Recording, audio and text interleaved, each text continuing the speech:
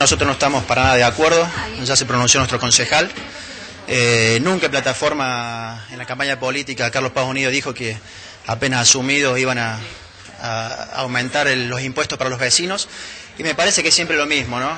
Eh, nosotros tenemos la esperanza que bueno que estas políticas empiecen a cambiar, que las cosas no sean como siempre, pero bueno, siempre vemos que el perjudicado y al que atacan es al ciudadano, al vecino. Me parece que no es, no es lo justo, la gente la verdad que, tenía otra expectativa y me parece que hay prioridades, ¿no? Eh, yo sé que el, cuadro económico no es fácil, es complicado, tuvieron seis meses para evaluar esa situación, para abrir el paraguas, para poder trabajar en consecuencia y me parece muy, muy acelerada la medida del aumento. ¿El desarrollo de transparencia significa que no va a acompañar cuando se trata de segunda lectura?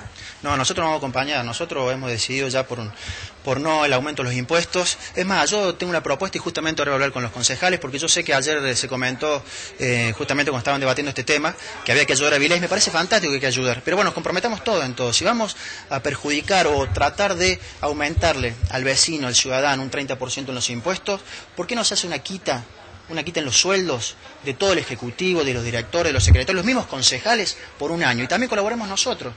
Entonces, ¿por qué no hacemos justo con todo? ¿Por qué siempre el vecino, el ciudadano, por qué siempre se ataca a la gente? Me parece que esa podría ser una medida de, grandeza, de demostrar que, bueno, que es una nueva forma de hacer política. Si vamos a atacar, en este caso, al ciudadano, al contribuyente, ¿por qué no también el Ejecutivo, la gente, los directores, los secretarios de área? No estoy hablando del empleado municipal, estamos hablando de eh, la Carta Ejecutiva. Y el Legislativo nos hacemos cargo y nos descontamos el 50% de las dietas de los sueldos por un año completo.